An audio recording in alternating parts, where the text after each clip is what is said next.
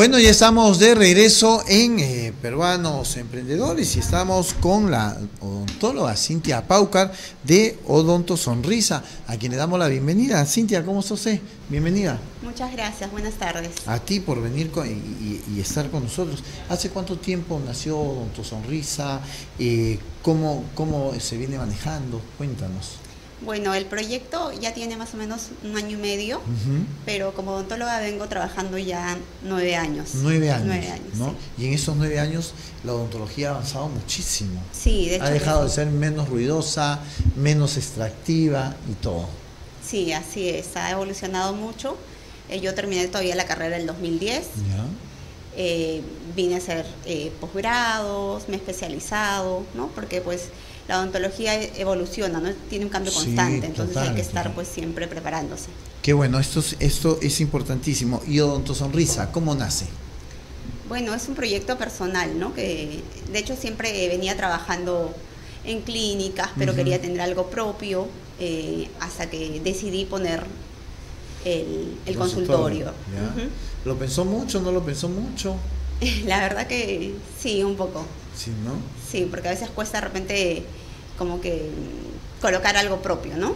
Sí, y aparte uno dice, pues, dice, mira bien, no me bien, la, la duda, hay, tanta competencia, ¿cuál es el plus que voy a dar yo ahora? Exactamente. E, e, eso es importantísimo. Pero en este año y medio... Eh, sí, eh, lo que pasa es que yo ya, como, como te comento, yo venía trabajando pues ya bastante tiempo, entonces este, siempre tenía mis pacientes recomendados, eh, tengo una cartera de pacientes ya ganados. Eh, ¿Y para qué? Sí, me, va muy, me va muy bien en el consultorio y pues gracias a, tu programa, ¿no? Por la ventana que, nos da para poder mostrar a nosotros, a, la persona, el servicio que podemos brindar. A ustedes. ¿Y ha crecido este Odonto Sonrisa? ¿Ha crecido? ¿Hay más personal? Sí, bueno, sí, no, yo de hecho yo trabajo de la mano con especialistas, ¿no? Yo soy la especialista en rehabilitación oral y me dedico también al, al área de implantología pero eh, trabajo de la mano con otros especialistas. ¿no? El consultorio, eh, nosotros nos basamos en una odontología especializada. Trabajamos con especialistas en endodoncia, en ortodoncia, en periodoncia, en cirugía. La trabajo de la mano. La implantología es, es, un tema que se ha puesto muy de moda últimamente, ¿no? Entonces ya eh, desterramos el tema de estas de estas planchas que antes se ponía la gente, de, estos puentes que lo que tenías que hacer era gastar un diente y el otro para poderlos enganchar, para poderlos engarzar en, en ese tema este, se trabaja con mucho mejores resinas, con muchos mejores este, materiales que, pueda el hueso poderlos absorber, ¿no? Sí, así es. De hecho, eh, todavía se sigue brindando algunos de los tratamientos que usted menciona, ¿no? Como por ejemplo de repente algunas prótesis removibles, eh, prótesis fijas que hay que desgastar de repente algunos dientecitos para poder colocarlos.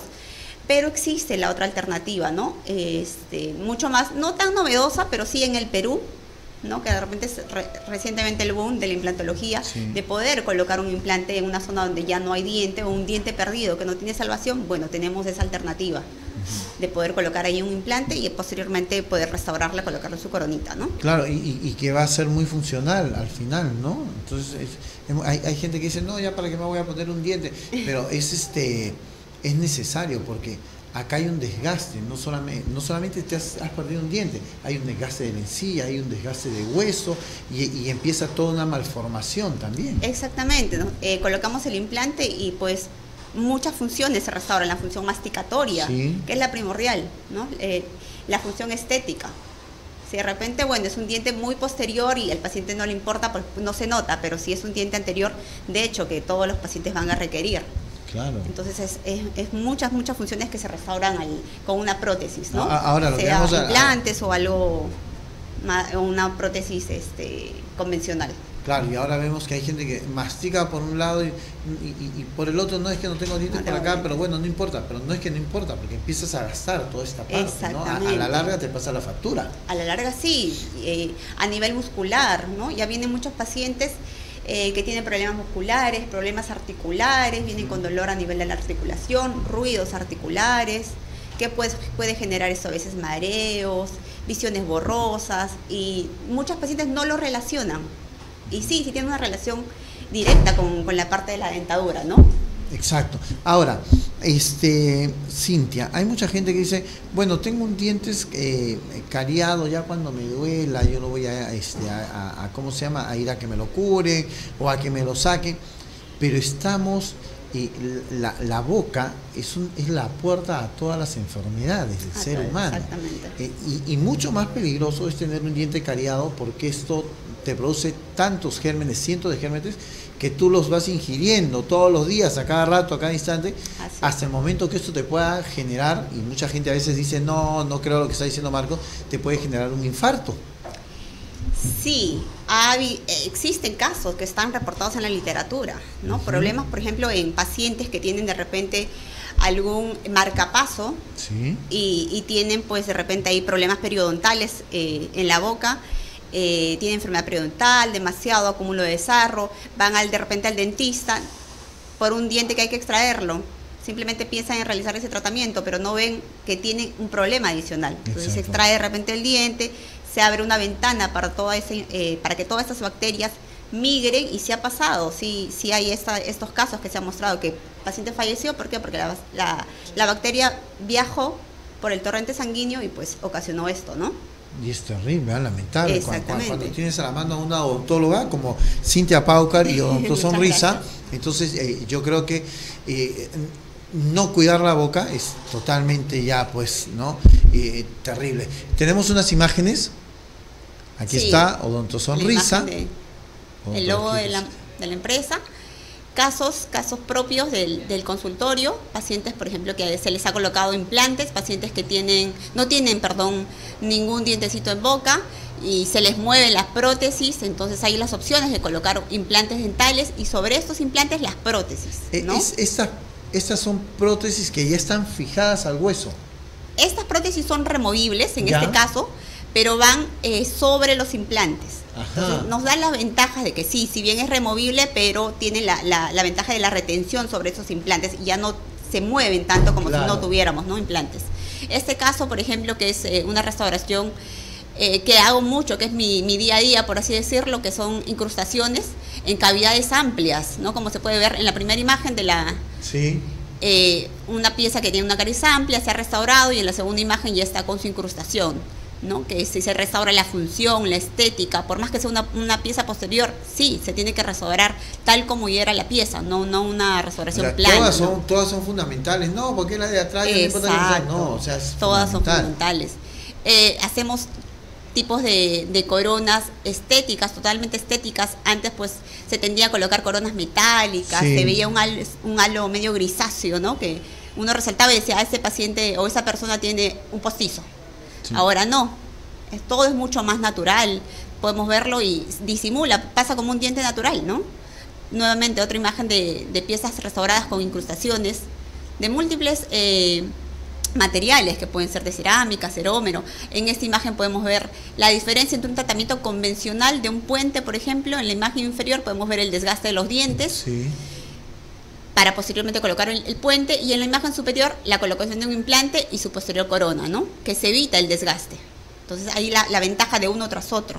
En este caso, por ejemplo, que podemos observar, eh, se ha colocado implantes en ambas zonas, superior e inferior, pero previo a esto nosotros hacemos un estudio minucioso, evaluamos el caso, tomamos las fotos, pedimos radiografías, tomamos eh, tomografías para el caso de implantes, para evaluar. Hay que ver el tema del hueso y acá, lo que, yo, y acá lo que yo estoy viendo es que también se ha retirado mucho el tema de, la encía, ¿no? Eso. Eh, pedimos las tomografías para evaluar la calidad y la cantidad de, hueso que tenemos en el pacientito, ¿no? Y una vez que colocamos nuestros implantes, pues recién hacer eh, el manejo de la encía que mencionas, ¿no? El manejo de tejido blando. Oye, qué, qué, bueno, y, y, y, sigues con una sonrisa muy bonita, porque antes tú, tú sabías quién tenía plata, el que tenía plata era el que se había puesto todos los dientes de oro, y el que era menos, un, poco pobre era el que tenía los dientes de, de, plata, ¿no? Exactamente. era muy utilizado esto que no era muy estético. No era muy estético, pero eso depende mucho de la cultura, ¿no? Todavía, esos tratamientos que usted menciona, todavía podemos verlos en en la sierra, en la selva. Sí, Aún podemos verlo, pero porque para ellos es, es bonito. Acá ha habido, eh, si vemos la imagen eh, que acabamos de pasar, este, Cintia, acá hemos visto toda la reconstrucción de la sonrisa. Exactamente.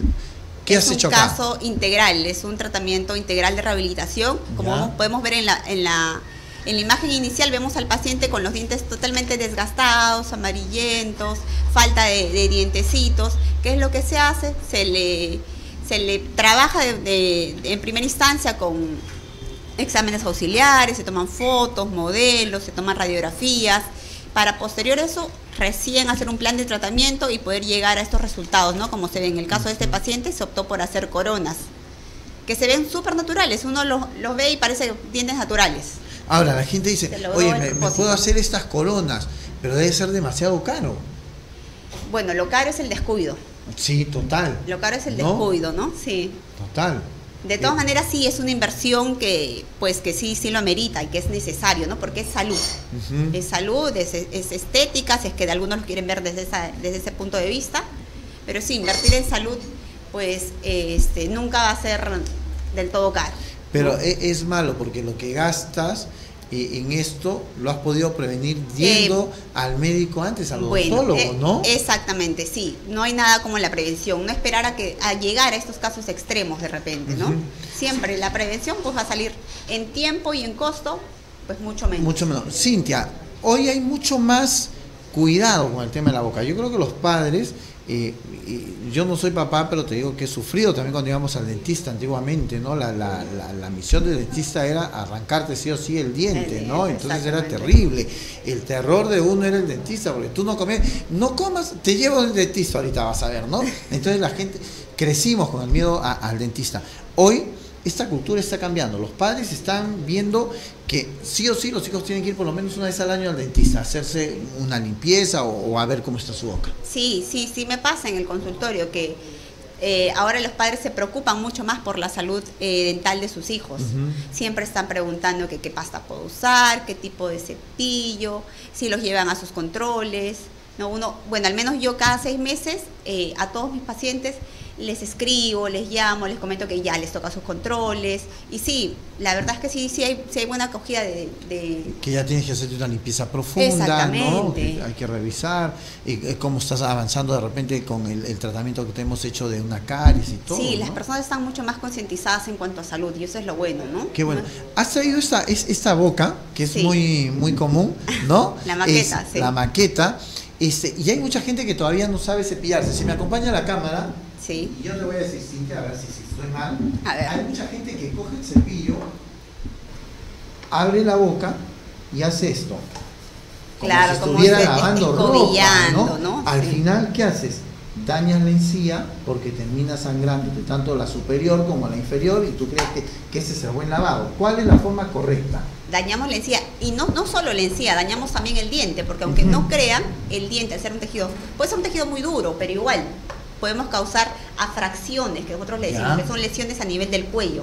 Se causan como unas pequeñas eh, grietas ahí a nivel de los dientes. Ya es, producto para que se puedan formar una sensibilidad, ¿no? Luego de eso, los pacientes vienen con sensibilidad. El cepillado debe ser en la posición de nuestro cepillo, un ángulo de 45 grados, inclinado, hacer movimientos circulares a nivel de la encía y luego movimientos de barrido, eliminando la comida siempre todos los dientes hasta el último, hasta el último diente, por ejemplo acá, hasta el último diente. Tenemos una molita del juicio, pues tenemos que llegar hasta la última cara de esa molita del juicio. Por eso nuestros, nuestro cepillo debería tener un cabezal pues de tamaño pequeño para que pueda llegar hasta el fondo. No es porque tengamos un cepillo súper grande. No, porque hay gente que tiende y, de cerdas muy duras. Muy duras, tampoco. Cerdas medias, hacer todo ese movimiento, minuto y medio los dientes de arriba, minuto y medio los dientes de abajo. En el caso inferior hacemos movimientos circulares de la misma manera, pero movimiento de barrido es hacia arriba, siempre retirando la comida. No olvidarnos de la parte interna. ¿no? en la parte interna, ¿cómo te vas a cepillar? Colocar el, a nivel superior, colocar el cepillo de esta manera y hacer el movimiento de barrido para limpiar todas las caras palatinas de los dientecitos hasta el último diente en la, parte interna, acá sacamos nuestra lengüita de la maqueta y colocamos de la manera contraria. Ahí. Hacemos los movimientos circulares y lavamos hacia afuera, exactamente. ¿La lengua tenemos que lavarla? exactamente, tenemos que lavarla la lengua. Porque también es parte del sistema masticatorio. Entonces, cepillar nuestra lengua, ¿no? Existen, existen cepillos tales que a veces vienen en la parte posterior con una parte como que de goma que nos, nos ayuda, perfecto, si tenemos ese tipo de cepillos lo hacemos, si no, pues con las cerdas de los cepillos, sacamos la lengua y a cepillar también la lengua. Terminar todo. Como les dije, más o menos entre 2 a 3 minutos nuestro cepillado. y no solo el cepillado, también usar nuestro hilo dental. El hilo dental, acá hay una gran pregunta. Este, primero vas a tener que venirnos a dar una clase y después a tomarnos un examen se han aprendido acá todito. Fátima ya aprendió, dice ella, cómo cepillarse los dientes. Entonces, ahora, el hilo dental lo uso después de haberme cepillado, antes de haberme cepillado. Sí, es, es frecuente esa, esa, pregunta. Antes, yo lo recomiendo antes del cepillado porque el hilo dental para, nos sirve para retirar los restos groseros que podamos tener entre los dientes, en las zonas interproximales. Así evitamos que se formen caries en esas zonas. No caries que de repente no, no, no nos percatamos. Si nos sale una caries a nivel de la cara oclusal, nosotros vemos una manchita negra, uy, voy al dentista, pero a nivel interproximal no lo notamos. hasta que sea pues una cavidad grande y tengamos dolor, ¿no? O vayamos al dentista, nos tomen una radiografía y ya. Entonces, eh, sí, usar el hilo dental antes, retirar los, restos groseros y luego nuestro cepillo dental. El cepillo dental no tiene que ser de cerdas tan duras. No, no cerdas medias, tampoco cerdas muy suaves, porque no va a cumplir sino su función. Qué bueno. Vamos a ver un videito, por favor, acompáñame, Cintia. Sí. Ah, ese video, sí, es un caso muy bonito que realizamos en este caso a una pacientita le restauramos todos los dientecitos eh, mediante prótesis fija, son puentes, y para esto usamos un sistema eh, computarizado para poder diseñar las estructuras de las coronas, ¿no? Este es un sistema 3D. Exactamente, 3D. Trabajo con, con un laboratorio que me hace este, este diseño, calibramos el grosor del material, la altura, cómo va a ser eh, eh, la, mordida con, los dientes inferiores. Y desde la computadora nosotros vamos viendo cómo quedarían nuestras restauraciones. Entonces es mucho más preciso. Incluso las, nosotros cuando hacemos las pruebas en boca calzan ahí, en la primera cita, no tenemos que hacer mayor ajuste, porque es todo muy preciso. Ahora, ¿cómo fijas estas prótesis? Estas prótesis se fijan mediante un, agente cementante. Nosotros le decimos cemento. Ya que hay de muchas calidades. Pero sí. Eh, no se te va a salir, que de no repente, no, o sea, que estés en la calle de repente y comas una manzana y no te vas a quedar con la pegada ahí, ¿no? no, no, no se sale. Eh, unas prótesis bien hechas no tienen por qué salirse, bien adaptadas no tienen por qué salirse. Ahora, cuando estamos en un, un tratamiento eh, en proceso, colocamos prótesis provisionales, las cuales para las cuales usamos cementos provisionales. Eso sí sí se pueden desprender, pues porque como su nombre lo dice, son provisionales. Pero para eso nosotros indicamos a nuestros pacientes que no deben eh, masticar chicle ni, comer tofis para evitar que se desprendan. Porque al ser provisionales nos sirve a nosotros, van al consultorio y pues los desprendemos, sacamos la prótesis y hacemos nuestras pruebas, hacemos el trabajo, ¿no? Eso es solo para, el, para las prótesis temporales. Qué bueno, qué interesante realmente. Entonces, eh, básico, el uso del hilo dental, su cepillo de dientes, desayuno, almuerzo y comida, que es lo, lógico para poder este, tener una muy buena sexia de la boca, la lengua y ya con un poquito más de tiempo también las paredes internas de nuestra boca también tenemos que limpiarlas, que es muy importante. Toda la cavidad bucal. Ajá, que, que, esto, que es muy importante. Y siempre andar con su kit. ¿Tú has traído el sí, kit? yo he traído siempre. Eh, nosotros, por ejemplo, no tendemos a tener esa, eh, Pero es necesario, ahí está, ustedes. Llevar al colegio, al trabajo, a los chicos, desde el más pequeñito, al nido, ¿no? Eh, nosotros en el consultorio damos a nuestros pacientes este kit de un cepillo, el portakit, el que viene el enjuague, podemos colocar el hilo dental, nuestra pasta dental, y es, es muy útil, ¿no? Como para el trabajo, para, el, para, para viajar, siempre, para no tener la excusa de que, me olvidé el cepillo. Yo voy a ir por mi portaquit, donde nuestros amigos de Sonrisas, ahí les voy a, les voy a caer. Ahí te esperamos. ¿Dónde, eh, eh, Cintia, dónde los encontramos a nuestros amigos de Odonto Sonrisa? Nosotros estamos ubicados en la Avenida del Aire, 654. Estamos eh, muy cerca de la Videna. Estamos en el distrito de La Victoria. Muy bien, ¿y en las redes sociales cómo te encontramos? En las redes sociales nos encuentran como en Instagram como Odonto Sonrisa Lima, como Dentist Cintia Pauca y en Facebook como Odonto Sonrisa. Ahí está, pueden utilizar ustedes. Y en Instagram también están, vean ustedes. Como Odonto Sonrisa. Y, el teléfono para separar una cita. Sí, el eh, teléfono es 939-494620. Ahí están los teléfonos para que ustedes puedan también separar eh, con tiempo una, una cita con nuestros amigos de Odonto Sonrisa. Hemos estado con la odontóloga Cintia Pauca, a quien le damos las gracias por habernos acompañado el día de hoy. Muy interesante realmente y a tener mucho cuidado con la boca, por favor. Desde niños ya hay que eh, ponerle, implantarle la cultura del cuidado de nuestros dientes y de nuestra boca. Regresamos.